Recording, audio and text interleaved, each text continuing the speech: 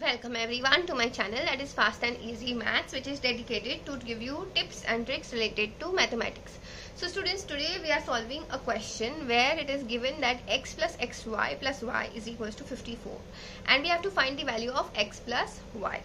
Okay so here what we can do is um, x plus sorry we can take x common. Let's just do that. Whatever is first step we should know we should do only the step which we know very obvious is 1 plus y plus 1 plus y is equals to 54 now the problem over here is we have x and then we have 1 plus y and then we have just y.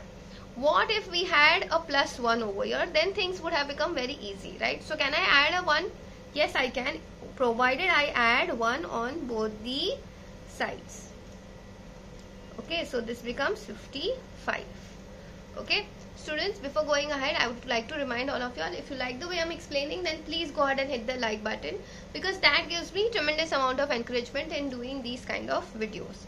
So now out of these two i can say that y plus 1 can be taken common and i'll be left with x plus 1 is equals to 55 yeah? And sorry your one thing which was missing was x and y are positive integers okay?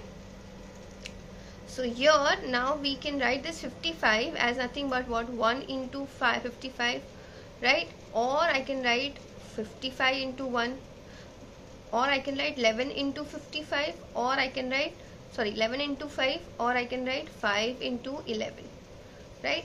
But the first scenario is not possible because since they have written that they are positive integers so in that case if I write this then either of these bracket will become equal to 1 and then if x plus 1 is equal to 1 then x will become 0 or y plus 1 was equal to 1 then it would become y will become 0 and that is negating this statement. So I can write we can write anything. Let's just write uh, let's take this as 5 into 11 so we have y plus 1 the first bracket and the next bracket is x plus 1 so I can say y plus 1 is equals to 5 and I can say x plus 1 is equals to 11 so from here I can say y is equals to 4 x is equals to 10 therefore I can say x plus y is equals to 40 right?